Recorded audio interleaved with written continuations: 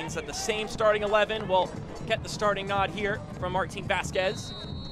And we're underway in the first ever meeting between Central Valley and Richmond.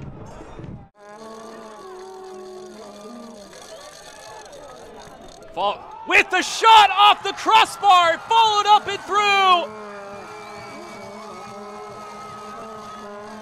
And it's Central Valley up top.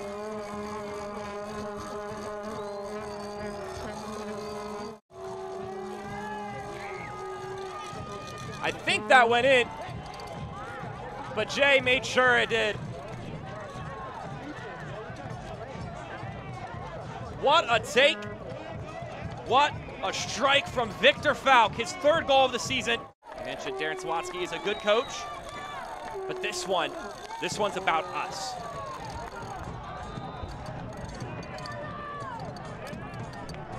Got another yellow card here. That's to Stephen Payne. Let's take a look at this again. Oh, he's just late. That's a good looking cross. The header comes down and make it a second goal for Central Valley. But the way it comes off the head, the trajectory makes more sense for Falk. I think that's Victor Falk. That service dipping down, headed back across. Ani launching for it. Here's a second chance, and it trickles through. Dakota Barnathan slotting it home for the kickers. And that's just what the kickers needed going into the half. And he slides it home.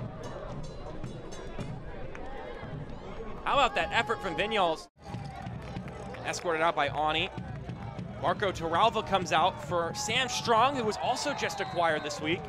We'll talk about that in a moment. These substitutions brought to you by Dos Equis. And we've got another red card. Let's take a look at it again. So he gets the boot. His studs are up.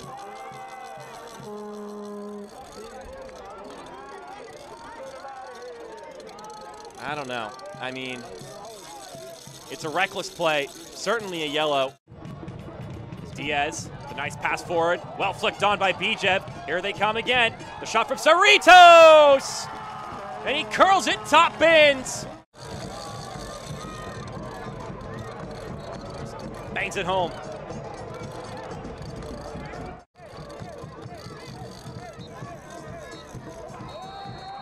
And there's your final whistle. A way to start the second half of the season for Central Valley. Bit of a night to forget for the Richmond Kickers.